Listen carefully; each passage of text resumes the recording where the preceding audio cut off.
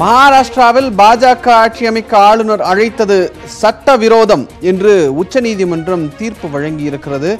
தற்போது வந்திருக்கக்கூடிய முக்கிய செய்தியை நாம் பார்த்து கொண்டிருக்கிறோம். நேற்று காலை பாஜக தரப்பில் மகாராஷ்டிராவில் ஆட்சி அமைக்கப்பட்டது. முதலமைச்சராக தேவேந்திர ஃபட்னாவிஸ் பதவியேற்றுக் கொண்டார். இந்த சூழ்நிலையில் இது இதை எதிர்த்து சிவசேனா தேசியவாத காங்கிரஸ் காங்கிரஸ் தரப்பில் உச்சநீதிமன்றத்தில் ஒரு மனு தாக்கல் செய்யப்பட்டது. இந்த நிலையில் அந்த மனு மீதான அந்த வழக்கின் மீதான விசாரணை நடைபெற்றது. அந்த வழக்கில் தீர்ப்பு வழங்கியிருக்கக்கூடிய உச்சநீதிமன்றம் மகாராஷ்டிராவில் பாஜகவை ஆட்சி அமைக்க அழைத்தது சட்டவிரோதம் என்று உச்சநீதிமன்றம் தீர்ப்பு வழங்கியிருக்கிறது. அந்த முக்கிய செய்தியை தற்போது நாம் பார்த்து கொண்டிருக்கிறோம். உரிய ஆவணங்களை காலை பத்து முப்பது மணிக்குள் தாக்கல் செய்ய உத்தரவிடப்பட்டிருக்கிறது.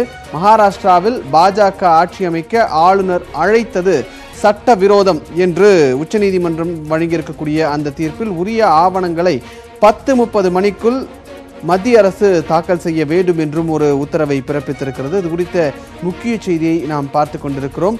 மகாராஷ்டிராவில் ஏற்பட்டிருக்கக்கூடிய அந்த அரசியல் குழப்பம் தீர்ந்தபாடாக இல்லை. தொடர்ந்து நீடித்து கொண்டே இருப்பதை நாம் பார்க்க முடிகிறது. மகாராஷ்டிராவில் பாஜக ஆட்சி அமைத்திருக்கக்கூடிய இந்த சூழ்நிலையில் அந்த ஆட்சி அமைப்பதற்கு ஆளுநர் அழைப்பு விடுத்தது சட்டவிரோதமான ஒரு ஒன்று என்று உச்சநீதிமன்றம் தீர்ப்பு வழங்கியிருக்கிறது. நேற்று பாஜக தரப்பில் மகாராஷ்டிராவில் முதலமைச்சராக தேவேந்திர ஃபட்னாவிஸ் ப- பதவி பிரமாணம் எடுத்துக்கொண்டிருந்தார் கொண்டிருந்தார். முதலமைச்சராக பதவியேற்றிருந்தார். இந்த நிலையில் அதை எதிர்த்து இந்த ஆட்சிக்கு தடை விதிக்க வேண்டும் என்பதை எதிர்த்து சிவசேனா தேசியவாத காங்கிரஸ் மற்றும் காங்கிரஸ் தரப்பில் உச்சநீதிமன்றத்தில் வழக்கு தொடரப்பட்டது. அந்த வழக்கின் மீதான விசாரணை நடந்து வந்தது.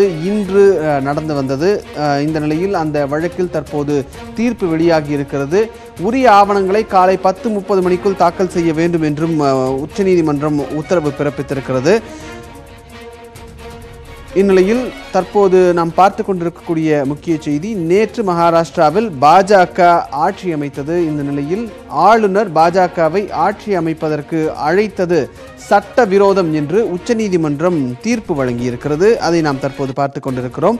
சிவசேனா தொடர்ந்த வழக்கில் மத்திய உள்துறை அமைச்சகத்திற்கும் உச்சநீதிமன்றம் நோட்டீஸ் அனுப்பியிருக்கிறது. அதையும் நாம் தற்போது பார்க்க முடிகிறது. இந்த மத்திய அரசுக்கு உச்சநீதிமன்றம் நோட்டீஸ் அனுப்பியிருக்கிறது. அதில் உரிய ஆவணங்களை நாளை காலை பத்து முப்பது மணிக்குள் தாக்கல் செய்ய வேண்டும் என்றும் உத்தரவு பிறப்பித்திருக்கிறது. மகாராஷ்டிராவில் புதிய ஆட்சி அமைத்தது தொடர்பாக விளக்கம் அளிக்க வேண்டும் என்று உச்சநீதிமன்றம் நோட்டீஸ் அனுப்பியிருக்கிறது. இந்த நிலையத்தில் குறித்த கூடுதல் விவரங்களை வழங்குவதற்காக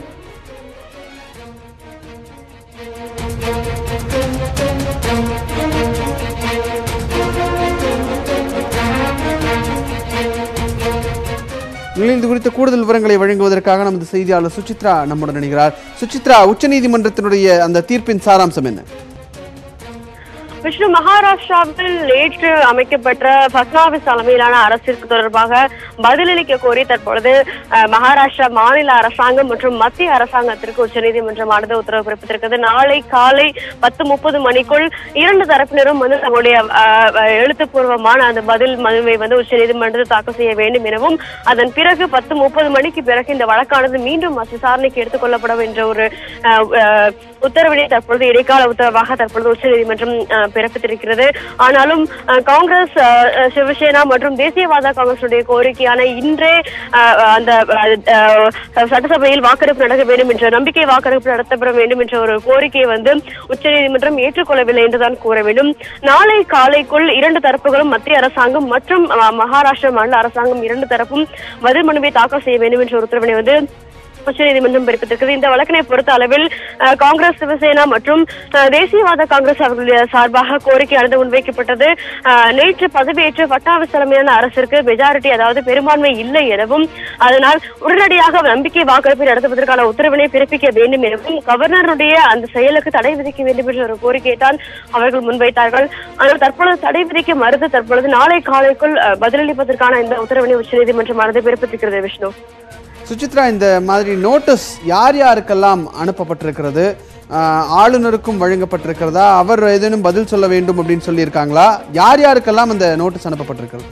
அஹ் இந்த வழக்கினை பொறுத்த அளவில் மூன்று கட்சிகளின் சார்பாக தொடரப்பட்ட வழக்கில் குறிப்பாக மகாராஷ்டிராவினுடைய மாநில அரசாங்கம் மேலும் மகாராஷ்டிரா ஆளுநர் என்பவர் மத்திய அரசினுடைய உள்துறை அமைச்சகத்திற்கு கீழ் வருவதால் மத்திய அமைச்சகம் ஆகிய இரண்டு தரப்பினரையும் தான் வந்து மனுதாரர்களாக சேர்த்து இந்த வழக்கானது தொடரப்பட்டிருக்கிறது. அதன் அடிப்படையில் நிச்சயமாக ஆளுநருடைய தனி ஆளுநருடைய பெயரில் இந்த மனுவானது தொடரப்படவில்லை. மத்திய உள்துறை அமைச்சகத்தின் சார்பாகத்தான் வந்து அவர்கள் நிச்சயமாக பதில் மனுவை தாக்கல் செய்ய இருக்கிறார்கள். அது தவிர மகாராஷ்டிராவினுடைய மாநில அரசாங்கம் அதாவது வசனா பட்னாவிஸ் அவர்களுக்கும் இந்த வழக்கில் வந்து ஒரு மனுதாரராக சேர்க்கப்பட்டிருக்கிறார். ஆகிய இரண்டு தரப்புகளுக்கும் தான் வந்து இந்த நோட்டீஸ் ஆனது அனுப்பப்பட்டிருக்கிறது. இது தவிர பாஜக எம்எல்ஏக்கள் சார்பாகவும் ஏற்கனவே ஒரு மனுவானது தொடரப்பட்டிருந்தது.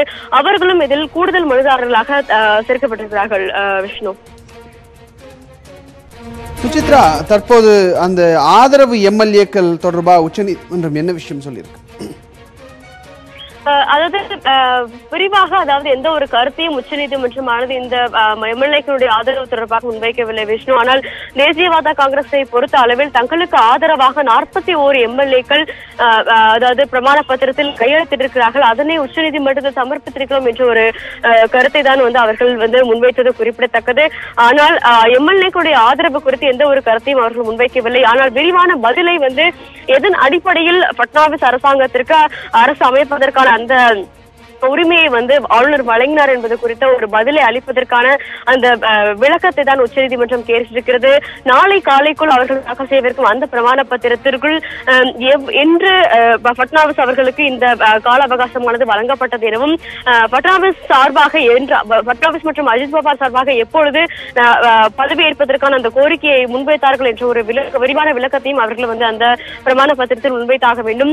அது தவிர மெஜாரிட்டி இருக்கிறது அதாவது பெரும்பான்மை தங்கள் பக்கம் இருக்கிறதா இல்லையா என்பது குறித்த ஒரு விரிவான தகவலையும் அந்த பிரமாண பத்திரத்தில் மத்திய அரசு மற்றும் மகாராஷ்டிரா மாநில அரசானது எழுத்துப்பூர்வமாக உச்சநீதிமன்றத்தில் சமர்ப்பிக்க வேண்டும் விஷ்ணு. சுசித்ரா இந்த விஷயத்துல வாட் நெக்ஸ்ட் அப்படின்ற ஒரு விஷயம் நம்ம முக்கியமா பார்க்க வேண்டியதா இருக்கிறது. இந்த நிலையில் உச்சநீதிமன்றம் விளக்கம் கேட்டிருக்காங்க. நாளை காலைல பத்தரை மணிக்குள்ள உரிய தகவல்களை வழங்க வேண்டும் அப்படின்னு சொல்லியிருக்காங்க. அதற்கு அடுத்தபடியாக நடைபெறக்கூடிய விஷயங்கள்ல ப்ராபபிலிட்டிஸ் என்னென்ன இருக்கு? என்னென்ன நடைபெறுவதற்கான வாய்ப்புகள் இருக்கு? நிச்சயமாக விஷ்ணு இந்த வழக்கு அதாவது நான் ஏற்கனவே கூறியது போல எஸ் ஆர் பொம்மை வழக்கு மற்றும் எடியூரப்பாவின் அரசிற்கு எதிராக தொடரப்பட்ட வழக்கு.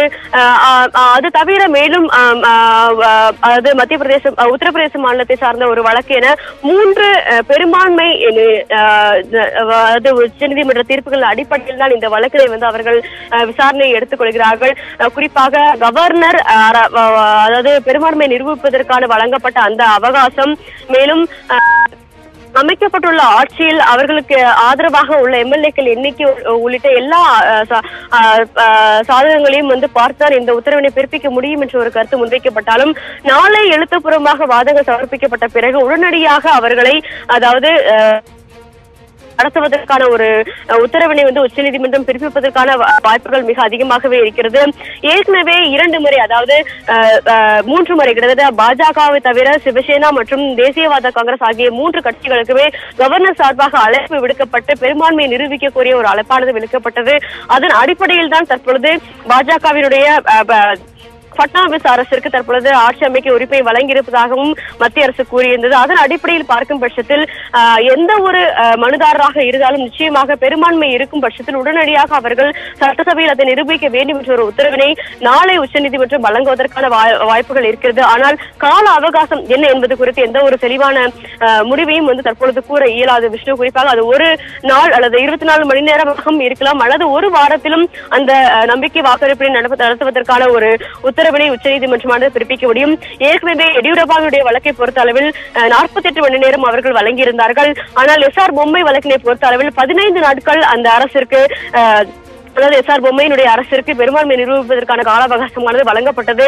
இந்த வழக்கினை பொறுத்த அளவில் காங்கிரஸ் மற்றும் சிவசேனா மற்றும் தேசியவாத காங்கிரஸ் சார்பில் இருபத்தி நான்கு மணி நேரத்திற்குள் அது நம்பிக்கை வாக்கெடுப்பு நடப்ப வேண்டும் என்பதுதான் வந்து அவர்களுடைய கோரிக்கையாக இருக்கிறது. ஆனால் இன்று அந்த கோரிக்கையை உச்சநீதிமன்றம் ஏற்க மறுத்து உடனடியாக எந்த ஒரு இடைக்கால உத்தரவையும் பிறப்பிக்கவில்லை.